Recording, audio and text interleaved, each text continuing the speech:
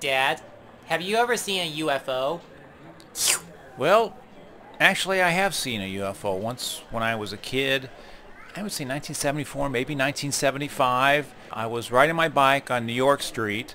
I was with a friend and uh, I got a blowout on my tire on my bicycle. And when I stepped off the bike, we turned around and we looked down the street towards town and over top of uh, kind of off in the area where the Dairy Queen was, up in the sky, it looked like an upside down bowl. It was kind of like a white light. One room you could like see inside of it and you could see where a light would turn on and you can see in one room and then it would go off and the light would come on in another room and it would go off and you could see people in there. What I thought were people in there. It was kind of far off, but I did see it. And then I turned around and talked to my friend. When we looked back, it was gone. And my friend said, we just saw a UFO. So do you believe in aliens? No, there ain't no such thing. I was just a kid. Who knows what I really saw?